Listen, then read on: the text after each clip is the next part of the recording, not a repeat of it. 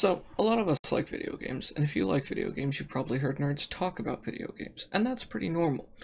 But This, what he's doing, is to go even further beyond.